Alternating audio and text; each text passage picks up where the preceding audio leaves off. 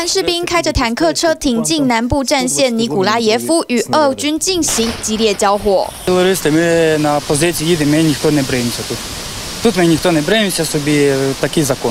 大胡子士兵在前线不忘自嘲地说：“没达到目标以前，不刮胡子才能展现决心。”但现在俄军攻势越来越猛烈，在乌东地区情况似乎对乌克兰不乐观。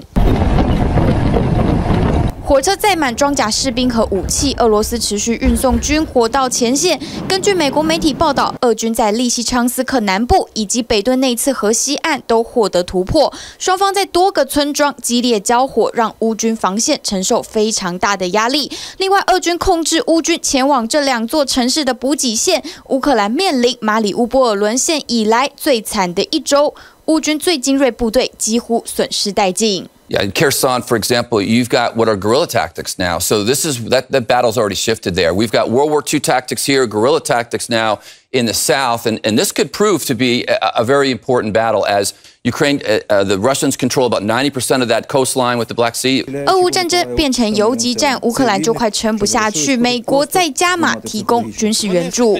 Now, in addition to those advanced rocket systems, the new aid also includes 18 patrol boats as well as artillery, ammunition, and small arms. 美国在额外提供4.5亿美元的军援给乌克兰，就是希望能扭转俄军不断强攻乌东的态势。TVBS 新闻综合报道，请支持 TVBS 国际 Plus 全新频道，让您扩大视野，掌握趋势，接轨全世界。恳请订阅，开启小铃铛。